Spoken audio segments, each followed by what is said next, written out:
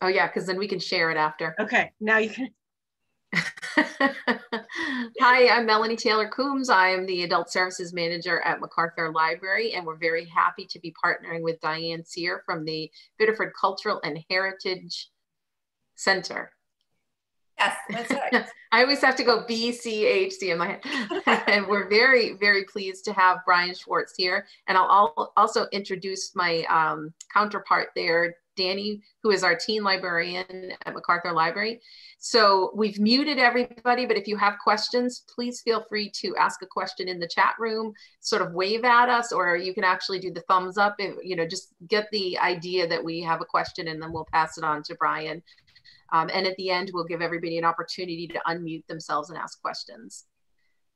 And I will turn things over to Diane Sear without further ado. Hi, thanks, Melanie. Um, I wanted to thank all of you for attending tonight. I'm sorry that we had all these glitches with um, the site and all of that, but hopefully we um, you can all hear. I'm sorry, I keep saying um. I want to introduce to you Brian Swartz, who is the author of a fairly new book called Maine at War from Bladensburg to Sharpsburg. And he's here tonight to present with to us about um, the influence, the contributions of the state of Maine and the city of Biddeford in the area during the Civil War. He is a uh, resident of Brewer. He has worked with the Bangor Daily News for many, many years and currently writes a blog on the Civil War. And so I really don't know how to turn this over to Brian, but we are ready to go. Thank you, Brian. Thank you very much, Diane. And Danny, this is where I go to the, the uh, share screen, correct? Yes. Okay, thank you.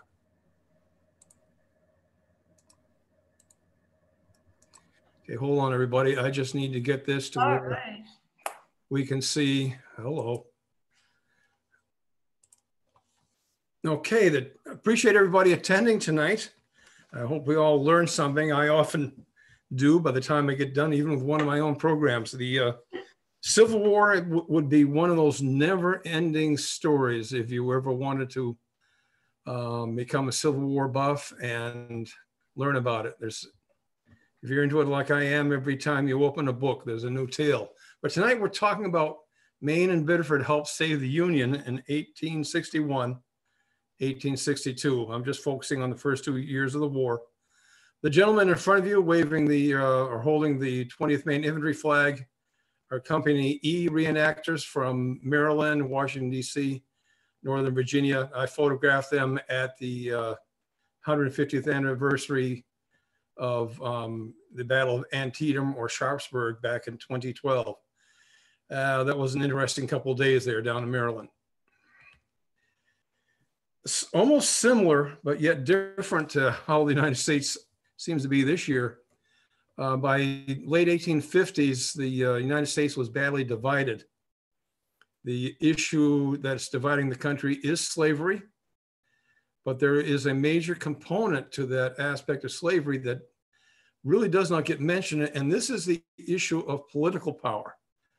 The um, southern states until the 1850s have basically at least controlled the Senate because you know, you know the, the rule is under the Constitution, one state, two senators.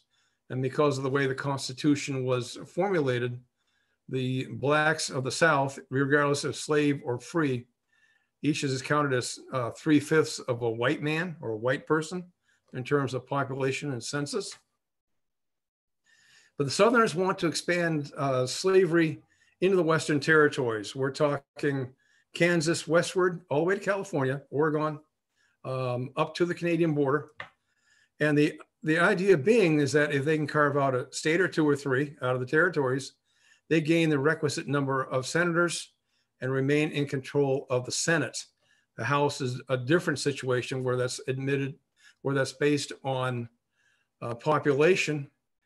Um, the uh, North is much more heavily populated than the South for reasons that to this day I don't quite understand, but the uh, Overall, the South has what you consider an agrarian society. The North is becoming heavily in, industrialized And the North is also receiving the bulk of the immigrants. The, uh, you'll notice, excuse me here, I'm going to admit, gentlemen here. The middle cartoon, this is actually a newspaper cartoon from circa 1860, depicts the North and South as a quarreling couple. Uncle Sam is the husband. The uh, housewife wearing the little apron was kind of in a, Confederate flag uh, design.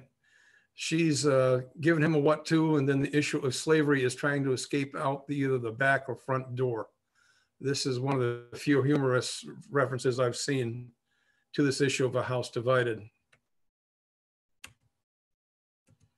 Hello.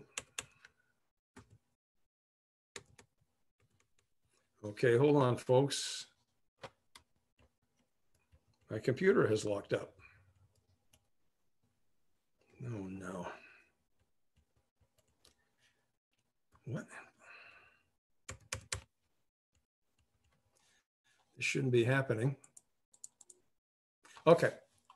This particular map, uh, whoops.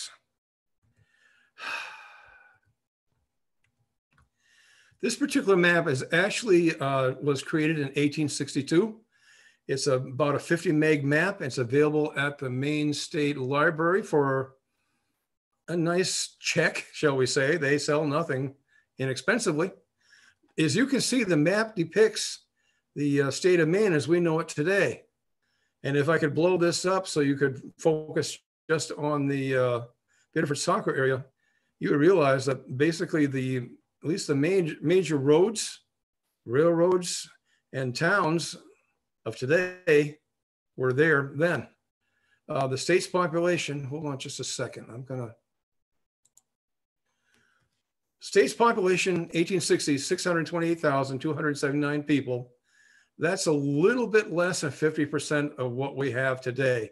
And that's an important number to remember. Most Mainers live uh, by the sea, by the rivers, by large streams. It's easier to travel on the water in the warmer weather. Um, you cannot trust frozen waterways in the wintertime in terms of safe travel because there's always going to be a place in the ice that's thin and people are going to fall through and drown. And it did happen back then quite a bit. The Confederates, to their foolishness, opened fire on Fort Sumter, April 12, 1861. Major Robert Anderson commanded the garrison. He had already decided that because he was basically out of food, uh, his water was pretty bad anyways. He, if he was not resupplied by April 14th, he was going to surrender Fort Sumter, which in the imagery here, you, you will see is three stories high. By the time the Union Navy got done taking apart during the uh, Civil War, it looks like the debris field that's there now. When the Confederates attacked Fort Sumter, both the federal government and Maine are woefully unprepared to fight a war. Uh, wasn't really expected. The Republican Party was established nationally in the 1850s to oppose slavery. In the North, it has gained many adherents. And with the elections in the, from about the mid 1850s onwards, Republicans are now in charge in Augusta, both the state legislature and in the uh, governor's office. The 1861 governor is Israel Washburn Jr. He is one of the Washburns out of Livermore, Livermore Falls. His brother Elihu Washburne, who adds an E to his surname, he was an Illinois attorney and congressman, and he was one of Abraham Lincoln's dearest friends. Uh, Washburn puts the state on a, a wartime footing. Uh, basically, the state changes direction politically 180 degrees over a period of two or three days. It's never been done since then in state history. His uh, adjutant general on the right is John L. Hodsdon Jr. out of Bangor by way of Corinth. He is a very capable administrator, and he and his staff will administer the state's war effort through 1866. And one uh, goal that he will accomplish is to save so much in terms of records, letters, muster rolls, regimental reports, that among the loyal states, Maine has one of the, the uh, greatest uh, treasure troves of Civil War correspondence and records of any state. All available there at Augusta, much now available online too. The War Department contacts Maine in mid-May, tells them we want 10 infantry regiments, 1,000 men per regiment. We want them now. That's 10,000 men out of a population of 628,000. The state will borrow millions of dollars to recruit soldiers and arm, clothe, equip, and house them. What it did not mention was also to feed them. These soldiers, primarily younger men in their 20s and 30s, have voracious appetites. By December 31st, 1861, Maine will raise 15 infantry regiments, six artillery batteries, and one cavalry regiment, the 1st Maine Cavalry, and around 17,000 Mainers will enlist. These are the cream of the crop in terms of the Patriots who are determined to save the Union. It's not to besmirch anybody coming after them, but these are the men initially respond in a major burst of uh, patriotism. The photo of the upper right is an actual uh, Union artillery battery. I do believe their guns are, should be six of them, 12 pound uh, brass or bronze Napoleons. Biddeford will change with the war. It's going to change significantly. It already is. It's becoming an industrial center as textile mills now start to appear in Maine. The railroads are pushing deeper into the state's interior. Uh, Biddeford was on the first out of state line that was built. That's the Boston and Maine. And you have the Saco River there with the dams the, uh, that provided water power for the, like, say, the Pepperell Mill. The, the uh, postcard on the right is circa 1902, 1903, but the, gives you an idea what the mill complexes looked like. On the left is the uh, is a lithograph showing a Boston and Maine train chugging north. Biddeford's on the left, crossing the Saco River, and Saco is on the right. And this ra railroad, this particular line in the city of Biddeford, will see hundreds, if not thousands, of trains related to the war coming and going through the next four years. Biddeford is one of Maine's oldest towns. It was incorporated in July 1653 and became a city on February 10, 1855. This image that uh, I lifted from Wikipedia of the City Hall and its clock tower says this is circa 1855, but the uh, utility poles and the wires tell me this has got to be later because there's definitely electricity in those lines. The populate the city's population increases from about 2000 to 1830, 16, uh, 6100 in 1850 to almost 9400 in 1860. Massive growth. Um, by the end of the 1850s, early 1860s, people are coming to Biddeford and Saco to work, a lot of them in the mills, a lot of them in jobs with businesses that are supplying material to the mills. Many of these people are drawn from the southern Maine countryside. Others are immigrants. There is still a cresting wave of Irish immigration into Maine at this time. And what you're also seeing are many uh, Canadians coming across from New Brunswick and to a lesser extent of Nova Scotia. They're looking for work. Uh, the Maritimes then, as they are today, are not exactly the have the most booming economy in Canada. And so in Biddeford and in all of Maine, the war will spur business and textile manufacturing is high on that list. On the left is the page two from the April 19th, 1861 edition of the Union uh, Journal, published in Biddeford by Lewis O. Cowan, or Cohen. Uh, sounds like an Irish surname. This is his first issue after the attack on Fort Sumter. And in the right column, you will see a typical hodgepodge of headlines that the Maine and American media will print in many editions before the war ends. In order to get its 10 regiments, what Maine does is calls up militia companies, uh, forms what it can uh, of them into regiments, also recruits uh, other men to fill out the ranks. According to the um, Maine Adjutant General's report for 1861, there were four Biddeford men that joined the 1st Maine Infantry Regiment, which is basically formed from militia companies in Portland in Lewiston and Auburn. Uh, George S. Cobb is a machinist. George S. Crediford is a mechanic. John Pillsbury is a machinist. Those three men probably are working in local mills. Joseph M. Smith is a shoemaker. His residence is listed as Portland, but he definitely was accredited, excuse me, to Biddeford as one of its enlistees. Now the map on the left is uh, taken from that 1862 map of Maine. This again shows you how high resolution that map is. You can clearly see Biddeford in the lower left, Saco upper right. And I'm sure most of those streets are still existing and many will still have the same names. Biddeford by war's end is going to send an incredible 924 men to join the army. Um, you can argue that's about 10% of the city's population. Some of these men will come from other communities. There might be an Irish immigrant, might be a Canadian, but they will be credited to Biddeford. And actually, that's 14.9%, call it 15% of the 6,200 recruits and draftees that are credited to York County. That is an incredibly high percentage. Uh, only Bangor, Lewiston, maybe Portland are going to come close to that.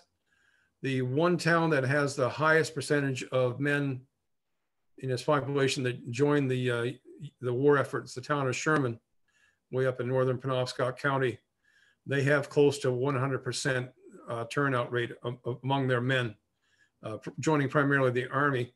Other Biddeford men will serve in the Navy or they will serve in other states' regiments. A lot of Maine men either were living out of state or for some reason they decided to join like Massachusetts regiments in particular. Now we're going to meet one or two of the Biddeford men. And I title this, What Are the Odds? James Nason, he's 20. He works as an operative, sounds like a spy. He mustered with the 5th Maine in late June 1861. This is primarily a Lewiston regiment. He stands 5'5 and he has brown eyes, brown hair, and a light complexion, and he's single. This information is available on his soldier's files at Augusta. He fights at First Manassas. This is a newspaper woodcut on the right. And the 5th Maine really gets shellacked there, um, not through any fault of their own It's gross mishandling by the Union generals. What else is new throughout the war? Anyways, he's medically discharged on October 3rd in 1861 and comes home. Then James Nason, 19, joins the 5th Maine Battery on October 19th, 1861, and musters in Augusta on December 4th. Again, same name. He's 19. He stands 5'5, he has hazel eyes and brown hair, but he has what's called a dark complexion. He's married and he claims he works as a farmer. And admittedly, his complexion would suggest that he's got a farmer's tan. So you got two James Nasons, uh, supposedly one year apart. They're both five five, have hazel eyes, which could pass for brown, and brown hair. The only difference is the complexion, color, and the marital status, but that could have been changed in those 16 days in October. Anyways, he serves with the uh, 5th Maine Battery through several battles in 1862. And as the fighting rages at Chancellorsville on Sunday, May 3rd, 1863, the 5th Maine Battery is, is, brought up on limbers near the Chancellor House. This uh, photo on the left, the ruins of there is at that site, Chancellor House, which was destroyed during the battle is off to the left of this picture a little bit, but this is the heart of where the 5th Maine Battery was. The Confederates have at least 30 artillery pieces zeroed in on the Maine boys on the nearby Irish Brigade, which was providing the infantry support. And Confederate troops are moving up, especially from the south, which is the tree line in the distance. And they're now shooting at the Maine boys. Every horse in the battery goes down the uh, Confederate artillery destroys the 5th Maine. And before the, uh, the guns can be withdrawn, there are only two gunners are left. and they're working a single, single 12 pounder Napoleon. It's a tragic story. It's a heroic story. Unfortunately for our hero, James Nason, it's a fatal story because he was killed in action that day. Very sad. Left behind a widow in Biddeford. 1861, uh, that November, December, at least nine Biddeford men joined the 1st Maine Cavalry. It's one of my favorite Maine regiments. Um, what was great about the cavalry, it's new, it's exciting, and the cavalrymen didn't have to walk. They rode everywhere, whereas the infantrymen walked. Harkening back to the Union and Journal newspaper, publisher Lewis O. Cohen, musters were the first Maine cavalry on Halloween, literally on Halloween, 1861. And he resigns 30 days later, class you call it 31, be nice to him, uh, for reasons unknown.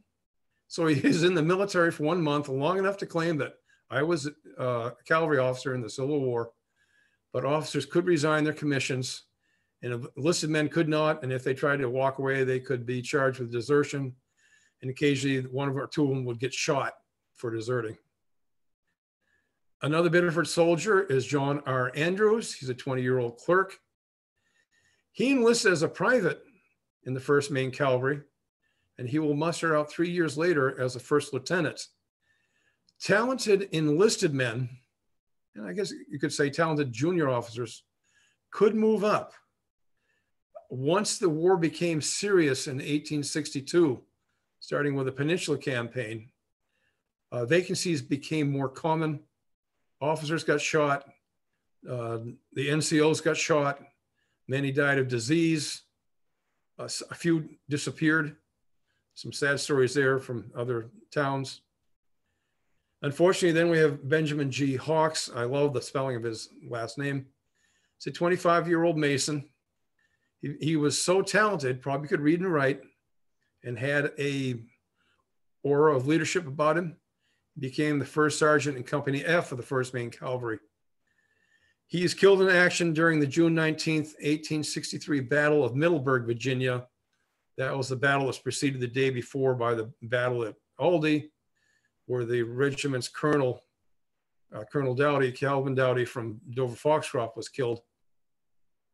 And Hawks's name is recorded on a 1st Maine Cavalry monument that was dedicated at Middleburg um, about 15 months ago. So he's at least etched in memory. Among the other soldiers from Biddeford, and again, I've chosen several. This is again from 1861, 1862. Elbridge G. Johnson is married and he works as a manufacturer. Again, these terms I've not been able to determine what they all mean. He was at the 1st Maine Cavalry. He served at Gettysburg. He was on detached duty, which meant either he was a courier or was some generals uh, in some general's cavalry guard.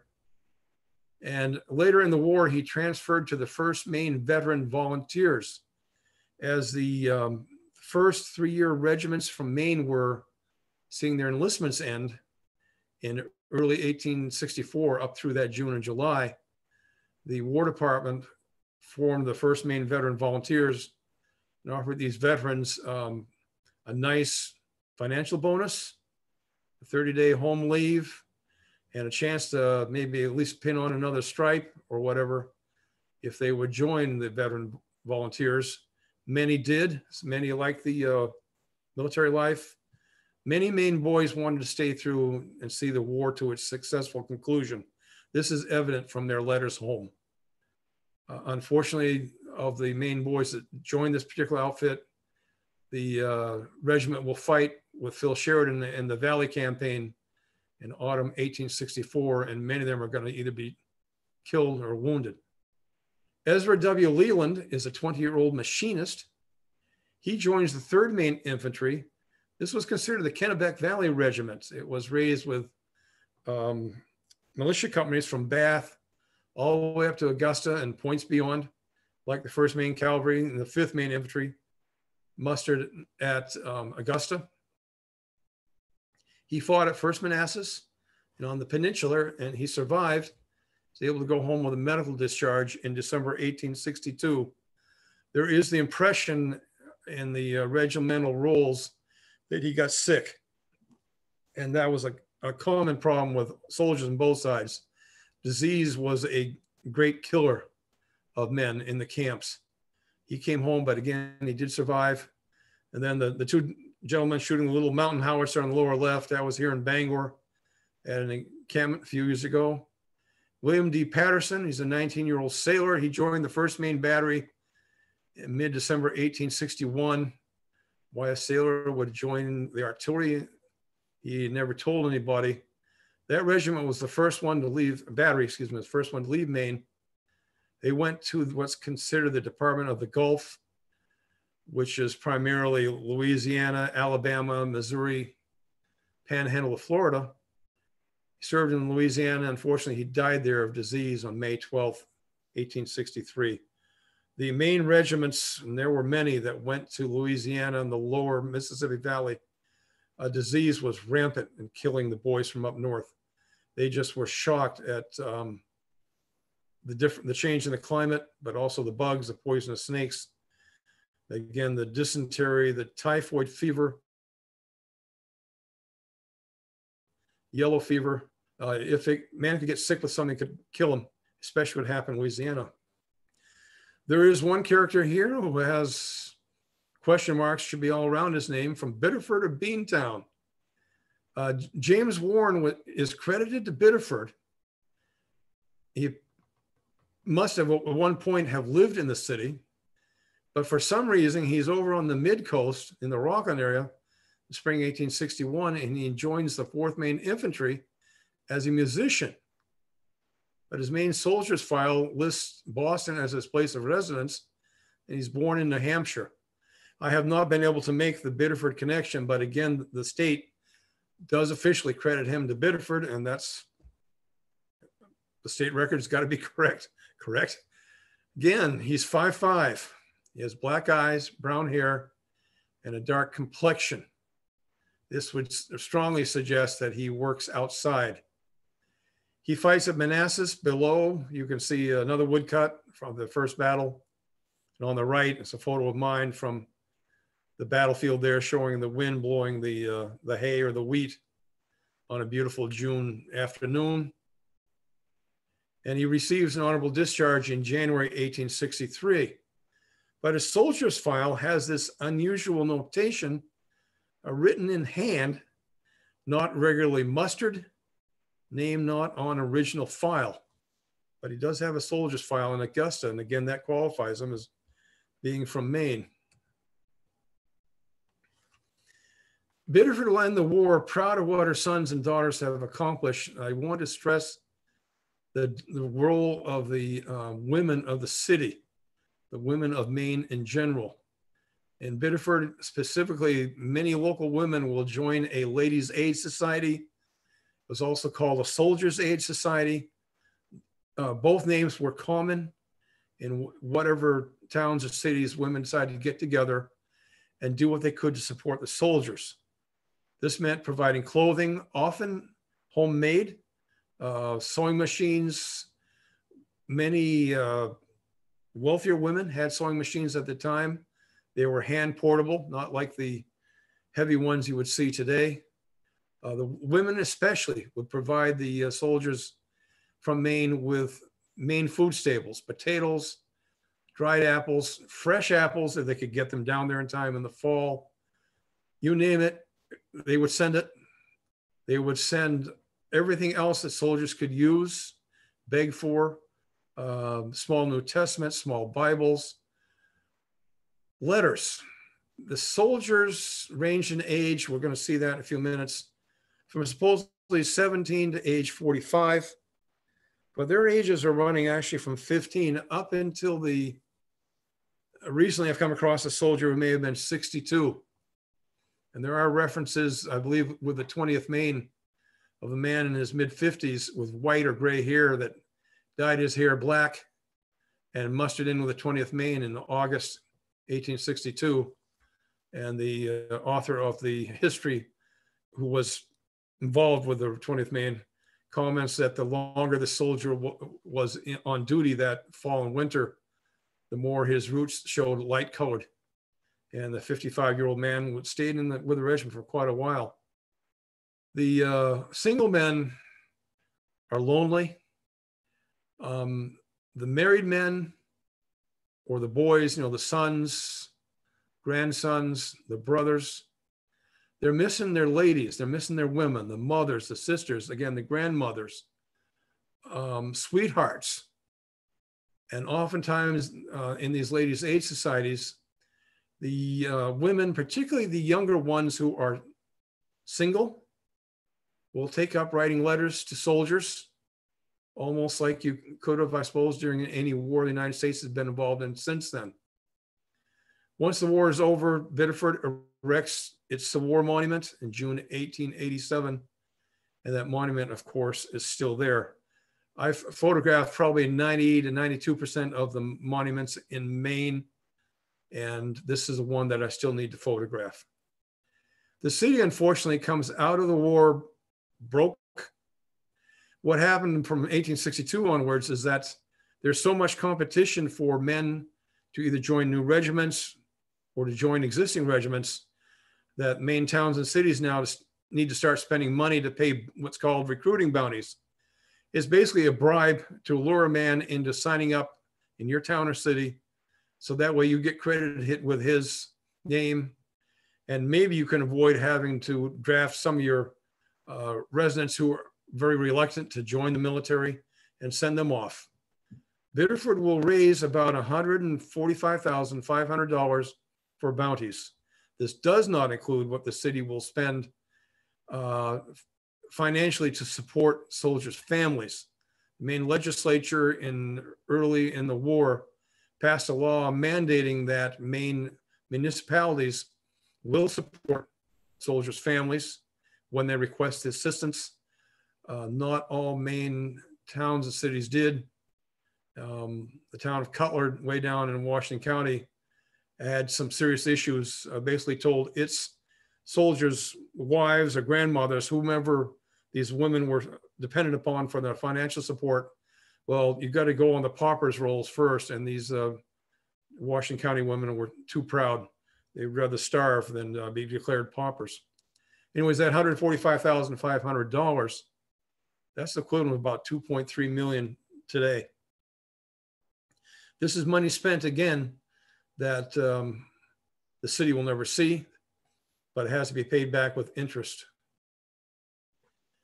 The War Department has determined that in the loyal states, men between the ages of 17 and 40 are eligible for military service. And according to the War Department, based on the 1860 census, federal government was quite good in its bureaucracy even then. There are 112,466 men in this age range living in Maine. And of that number, some 73,000 will join the Army or Navy. And these figures are based uh, what the Maine State Archives has provided me. This figure of 73,000 men represents 11.5% of Maine's population. There is a caveat that many of these men are from the Maritimes, a few from Quebec, uh, some from other states. I've seen New Yorkers, New Hampshire, guys, a few English, some Germans, a few French, uh, some from Vermont, a few up from Massachusetts. So not all these 73,000 men are, are, from Maine. Correspondingly, I suspect um, they are smaller in number than the number of Mainers who were actually served in other, uh, other states' regiments. That including the black Mainers who enlisted from 1863 onwards except for a few that were taken into what's called uh, white state regiments against all regulations. But Maine was, at least the 8th and 9th Maine Infantry were quite liberal in accepting um, both Indian and black recruits. Most of these black Mainers went to out of state regiments that were like the 54th Massachusetts, which were black regiments. The Maine State Archives has accounted for 9,900, 9,398 men of that 73,000, almost 13% of them, who died of combat or diseases or other causes. There's murders, there's suicides. Five of them were shot uh, by firing squads. Uh, maybe all but one for desertion. I think one was shot for murder. But between her dead and wounded, Maine will suffer the highest per capita loss rate of any of the loyal states. Again, this is in a population of 628,000 people.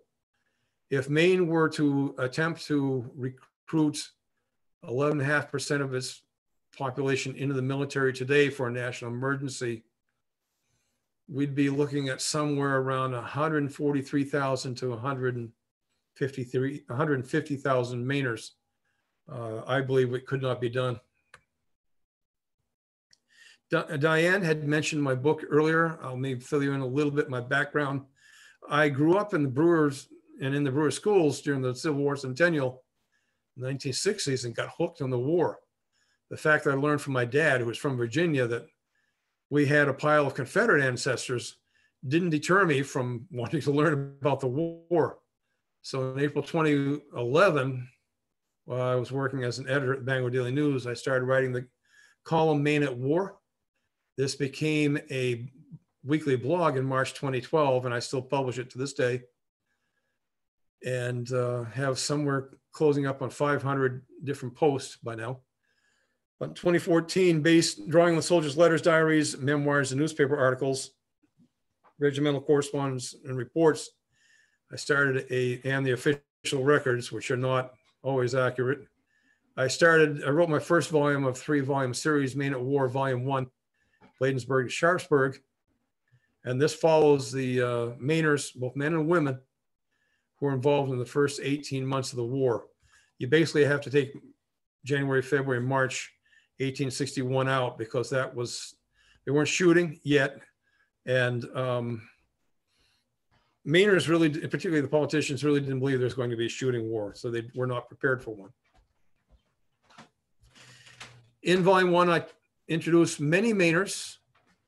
Um, the recruits came in from all over the Pine Tree State that spring, summer, and fall. Uh, You can go all the way up to St. John Valley, all the way down to Kittery, all the way over to Calais or Eastport, then west over to uh, Bethel, Gilead. Uh, the Maine boys, I use the term boys, so many of them were men, and if they weren't, they became men very quickly.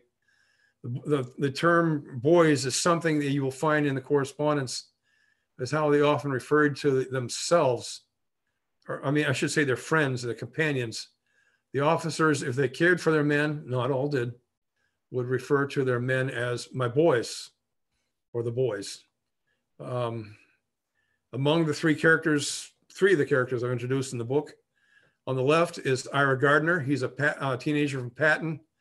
Very quickly, he was 18, the oldest of four. He had three younger sisters. He wanted to join the war early in the summer and early fall of 1861. His dad said, No, you're going to stay here on the farm and help with the harvest. But like any teenager who wants something, he wheedled, whined, and I suspect probably harassed his sisters until they begged their parents to please kick him out of the house. So his parents said, Yeah, you can join the war effort. He joined the 14th Maine Infantry, stayed in the war until the end and beyond, and uh, lost an arm in defending the United States. In the center is a bank clerk, John Mead Gould from uh, Portland, very unique character. He joined the 1st Maine, which became the 10th Maine, which became the 29th Maine. So essentially, except for when he's home during the periods between the next regiment that the uh, fire regiment, regiment will morph into, he's in the war from April 1861 until 1866 because the 29th Maine will go south on occupation duty. And he left a very detailed diary. He's literate, he's observant, he's a very caring individual, um, incredibly brave.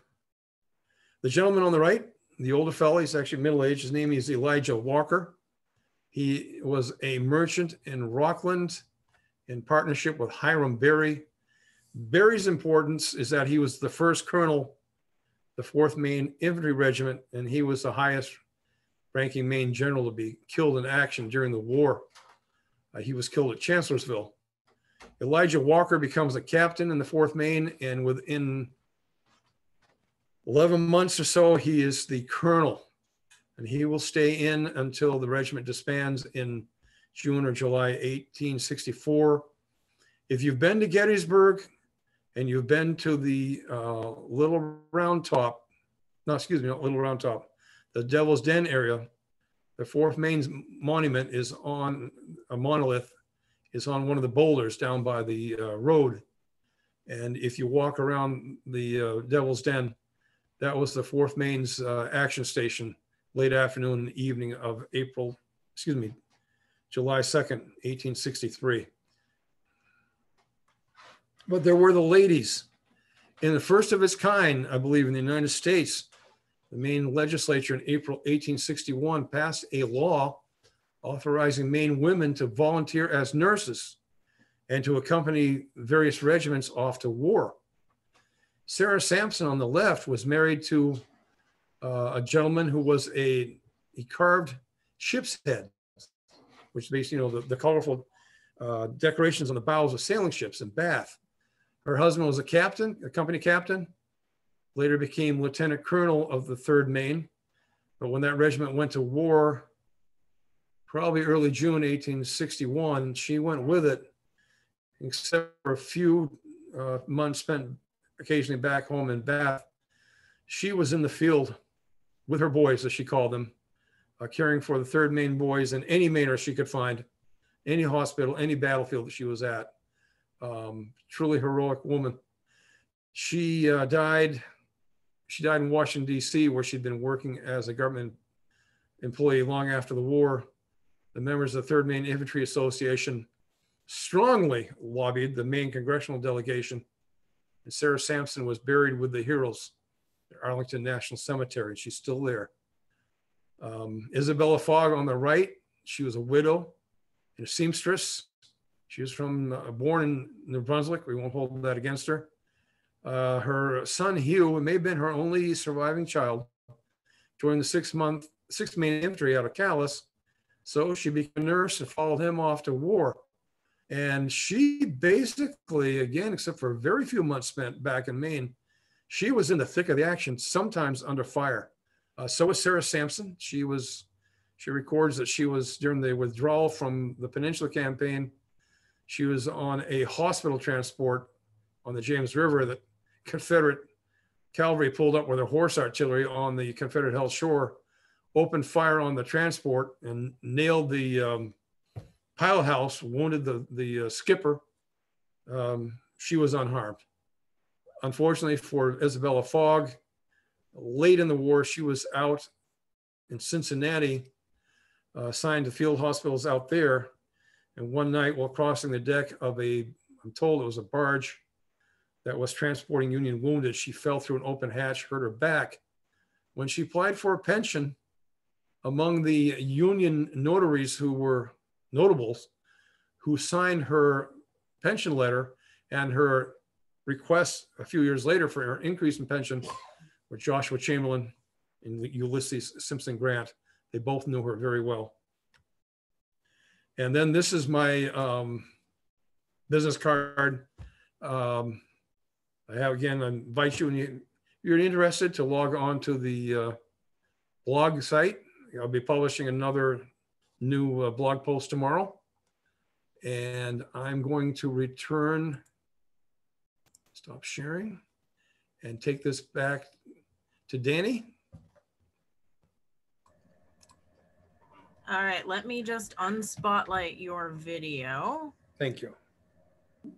And I'm willing to answer questions if I can. And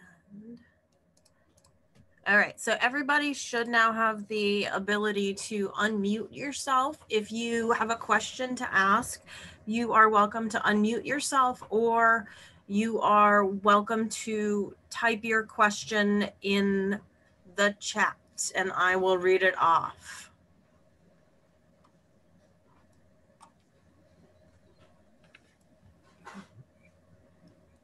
Any questions?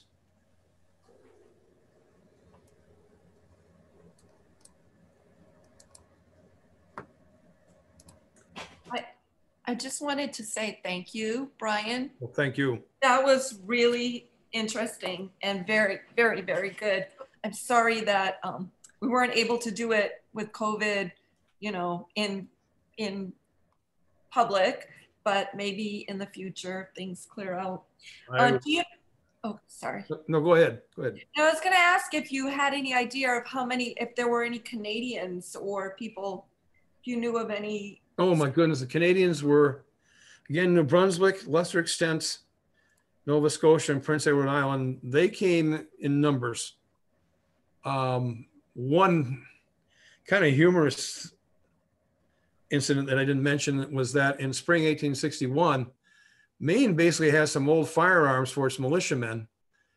In order to try to get some modern firearms, and I mentioned in my book, detail it, Governor Washburn sent a secret agent to New Brunswick and Halifax with the mission of wherever there's a British military garrison, Royal Army, not not the Canadian militia, you know, check out the bars where these uh, soldiers hang out, and particularly with the Irish, let them know that um, Maine is paying X number of dollars if you want to come across the border and sign up in a Maine regiment.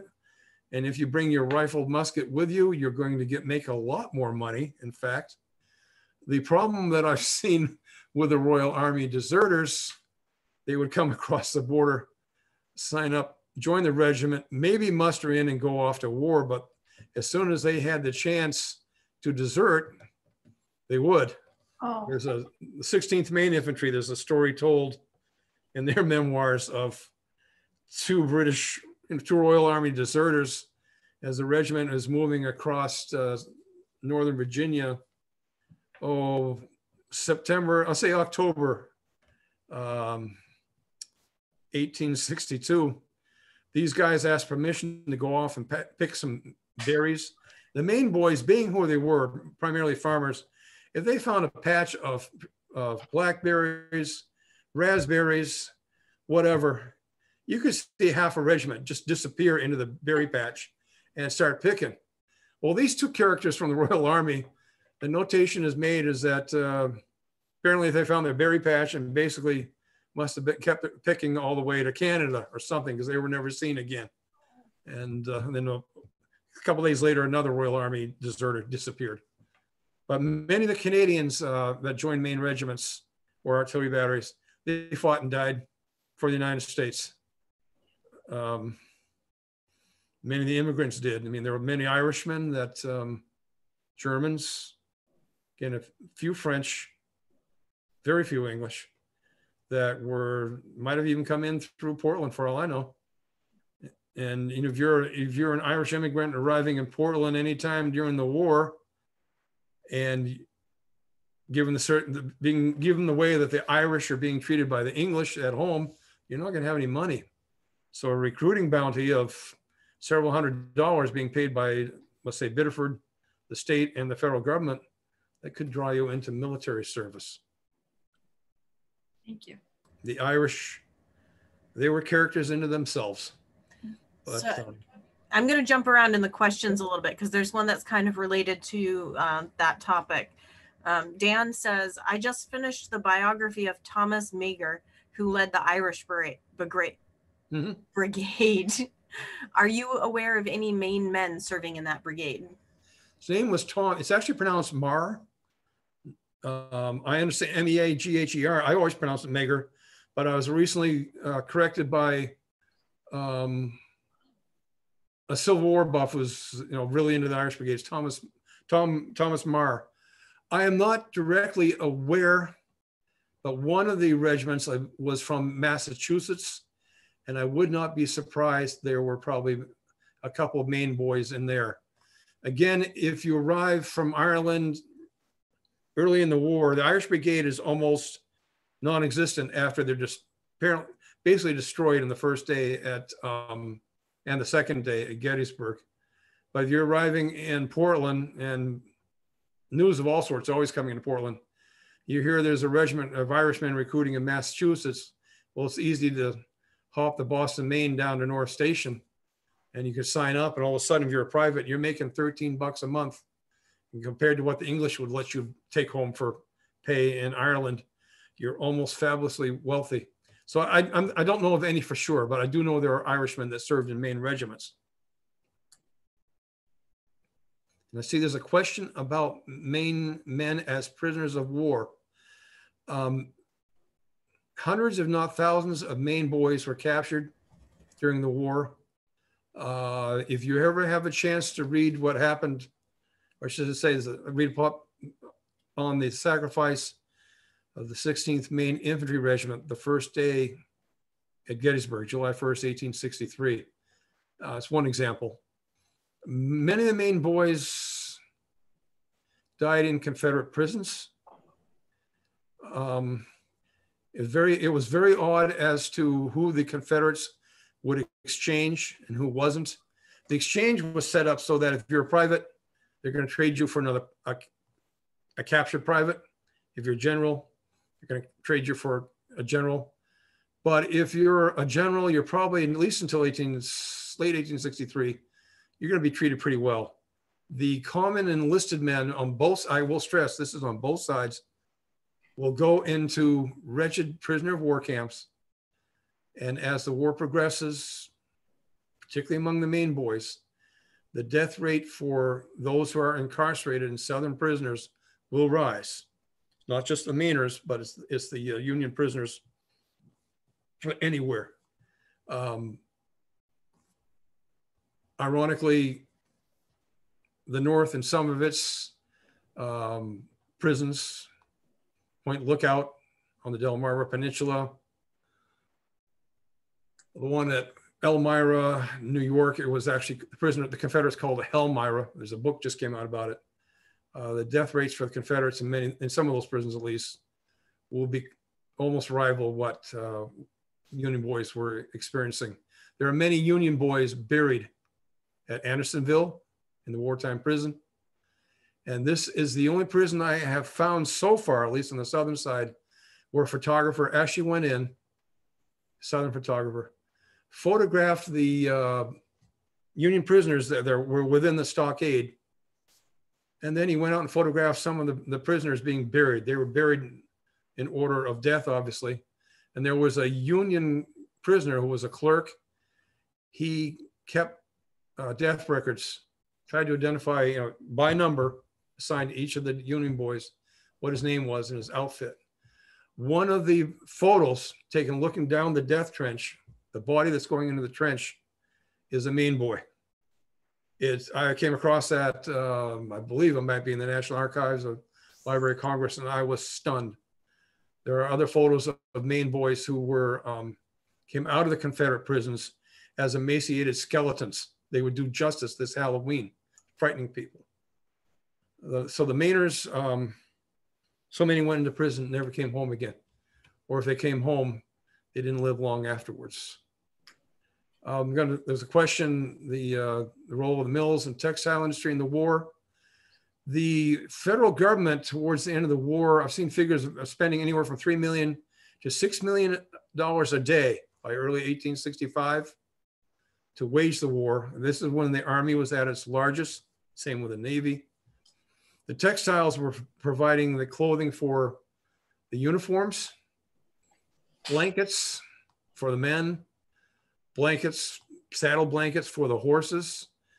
I would not have wanted to have been a horse anywhere near the war zone on either side during the Civil War because the hundreds of thousands of them were killed. Um, the textile industry in Maine and in New England really took off during the war. It gave Maine the, the um, infrastructure and the training in terms of employees and managers. So when the mills, the war, when the war ends, the government says all contracts are torn up. So the mills suddenly find themselves without government work, but they were able to quickly shift to um, private work. As the the soldiers returning from the war they're used to this woven cloth. They like the blankets. Boy do they like the blankets. They like the raincoats such as they were. Um, and as they return to civilian society uh, if they can afford it they're going to be buying as good quality early on the tax some of the certain textile manufacturers i can't say it occurred in maine uh, made what was called shoddy material s-h-o-d-d-y That's where we get the term shoddy from. It was considered a, a legitimate cloth, but basically what you would do is at night after the mills had closed down, your cleanup crew would come through and they would sweep up all the scraps of cloth into a bin. It would get kind of reworked a little bit and then sold into shoes, socks, underwear, uniforms. But what the soldiers, especially with the 10th Maine Infantry, found out um, the winter of 1861, 1862, when you're out marching across Maryland and all of a sudden it starts raining, your clothing dissolves and your shoes become nothing more than just a mass of glue because they're made out of what's called shoddy material. Uh, other questions? Um, Thomas Marr. And there's a question of any slaves from Maine or those of color who served. Yes, I can very much answer that one. Maine had a small um, black population. Portland was one concentration. There was another one out in Warren. Um, a lot of those families were related to each other. And what happened after the Emancipation Proclamation, starting in winter, spring, summer of 1863, when the Army finally got its act together and started uh, enlisting Black recruits, a lot of these Black uh, Maine men signed up. I have photocopies of some of their recruiting records, the ones from Warren. One of them was looked so young. Apparently, his father traveled with him to Augusta in the middle of uh, December 1863, and um, signed an affidavit. Yes, my son is 17. I mean, that leaves the implication the boy looked significantly younger. I mentioned earlier that most of these Maine men went to out-of-state regiments, including some from Rhode Island, that were created specifically for black recruits. However, at least a few of these, these black men from Maine ended up in the 8th Maine Infantry. I believe somewhere in the 9th Maine. And the ones in the 8th Maine, it's no questions asked when you looked at their soldiers' files, they're black. The War Department stipulated that no black enlisted men could serve in a white regiment, either federal or state. But obviously, in these, at least a couple of these Maine regiments, the officers didn't care. And there are records of a couple of the Maine regiments that went off to Louisiana. They were losing so many uh, men, that's not funny, excuse me, losing so many men to disease and death. They started recruiting anybody who would sign up in um, Louisiana. And what would happen there is that slaves would flee the plantations, many of them run by Cajuns, would reach Union lines. And if they reached a Maine regiment, it was a case of raise your right hand, so do solemnly swear you are now in the United States Army, such and such Maine regiment. In fact, there I wrote a blog post about a year ago of a slave owner in New Orleans, found out his slave had joined, might have been the 14th Maine, maybe the 13th, and got permission from Ben Butler to have the slave returned. Know, again, this is this is the Emancipation Proclamation is in effect, and the slave had reached Union-held territory. He's free. Well, Butler really came down on the regimental colonel, says, "I expect that slave here pronto." And the colonel's response, if you read between the lines, is, "We looked, we can't find him." But by then, they'd already hustled him upriver to um, some remote outpost that the regiment was holding, probably a company. And he kind of just disappeared into the main ranks. Uh, Maine Indians also signed up, um, at least the Penobscots. I cannot speak to the Passamaquoddies, but I would assume they probably did. And again, the 8th Maine Infantry took the Penobscots and uh, they served along with everybody else. The um, there again, there are weren't slaves from Maine, but there were slaves down south that if they reached Union lines and if they could reach again, particularly in Mississippi Valley, if they fell in with a Maine regiment, if they wanted to, they were sworn in. There's one named Samuel Guess, G-U-E-S-S. He joined the Maine regiment, uh, made friends with some white soldiers from Bangor, came to Bangor after the war, married a black woman, raised the family over on 14th Street. The house still stands. They're all buried up at Mount Hope Cemetery.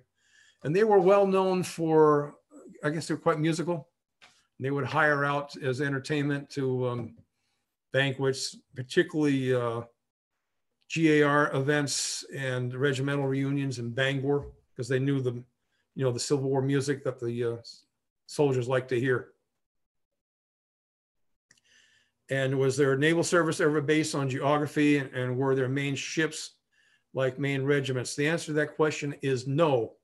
However, there were gunboats specifically built in Maine, Portland, especially Kittery and elsewhere during the war with the assignment of being stationed uh, on the Maine coast.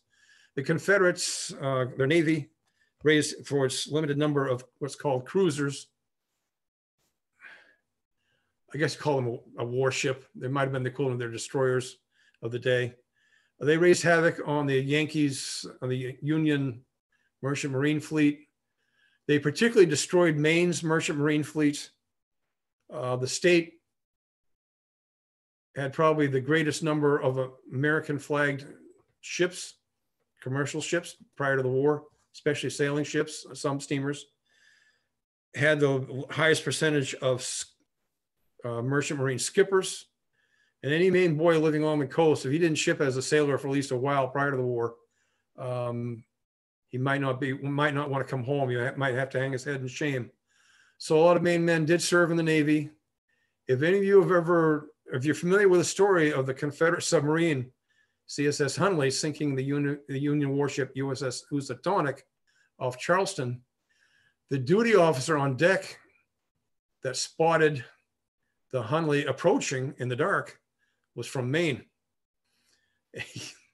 He, got sunk then, he was, got torpedoed, and then about a year later, he was holding the same position basically on a steamship, is actually an admiral's flagship, um, moving along the inland, one of the inland waterways, I'm going to say the South Carolina or Virginia. Well, the Confederates had planted a mine in it and it blew the bottom out of the steamer and sunk it right there in the waterway. And he survived that too. Didn't he was kind of a hard luck case. But many Mainers served. If you were a Maine civilian sailor and you joined, um, if you were an officer, you would be named either an acting ensign if you were really good, you might be named an acting lieutenant. The uh, regular Navy officers, as to this day, no, I should say less so today, wanted to ensure that nobody mistook a very talented and capable civilian volunteer for a regular naval officer. They made sure that's why you had the title acting and you never rose above lieutenant. Um, there were Maine sailors, volunteers, acting lieutenants, who did command small steamers, particularly down the Gulf Coast in the inland waterways there, Virginia, no, excuse me, Louisiana, Mississippi, and Alabama. But you're not going to see one of them commanding an ironclad or a major um, federal steam warship. And um, the naval service was not based on geography. One thing I do want to mention that as the war wore on and the Navy exploded in size, is that the Navy ran out of recruits. So by the spring or late winter, early spring 1864, and in through that summer, even though Grant needed every able-bodied soldier he could kill or wounded for kill a wound for his overland campaign, the War Department uh, passed the word to these particularly infantry regiments that if you have men who want to join the Navy, let them go.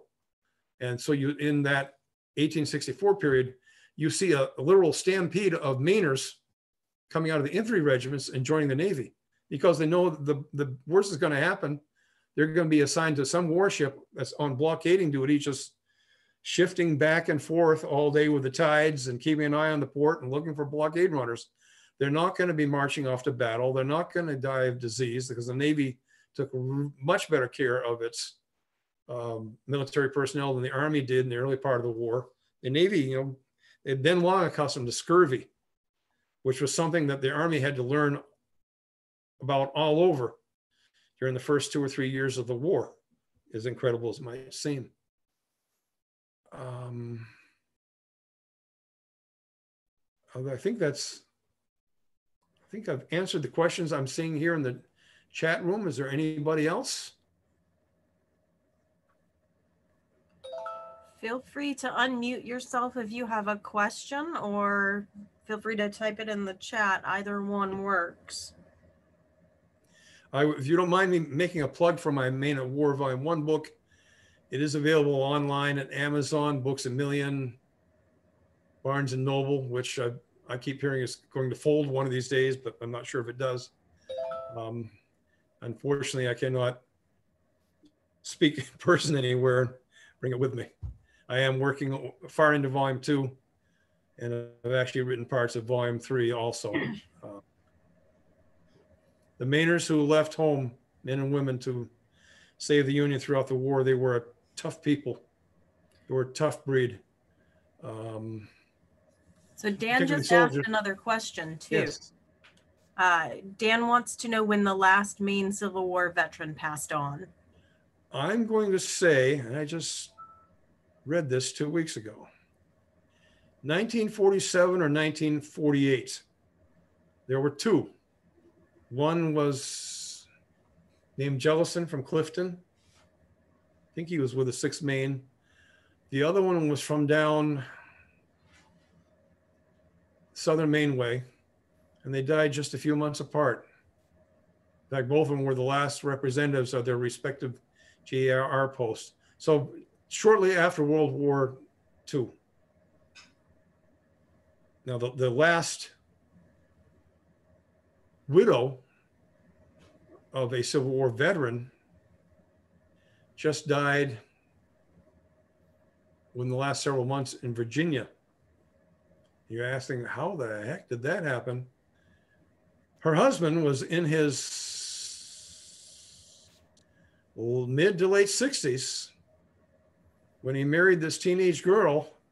She was either wife number three or wife number four. And I, I guess he was quite the elderly gent because they had several children.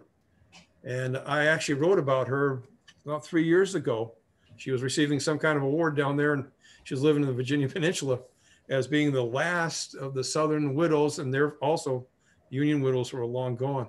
So she actually made it into the 21st century. And like I said, she, with that elderly husband, she had a pile of children. There's a story there that I don't dare venture into. There, there's so many stories that I, I could spend another lifetime writing about it, and I still wouldn't even scratch the surface. And any other questions? I do want to thank it, all of you for um, attending tonight. It's been my pleasure, my very great pleasure. I always enjoy talking about the Civil War with other Mainers. Thank you so much, Brian. Thank you. Appreciate it. My pleasure. Yes, thank you very much. And if you check out my blog post, you'll find my email address. Don't ever hesitate to send me a question if you have one. And we'll be posting um, a link to today's recording um, in the McArthur Library YouTube channel and send it to Brian as well. So feel free to cross post that on your blog if you want. And if you have any questions, reach out. Okay. Again, thank you, you, Brian. everybody. Thank you, Brian. Thank you. Thank you, Diane, and Melanie, and Danny. I really appreciate it. It's made it possible. Thank you so much. Okay. We'll, get, we'll keep in touch. All right. Sounds good. I have a real good program about Joshua Chamberlain that, Oh, uh, that'd be great. that, that would be good for another time. I mean, and it covers his war years and goes into areas that some people wouldn't dare go into. Uh, anyways. Okay. Thank you so much.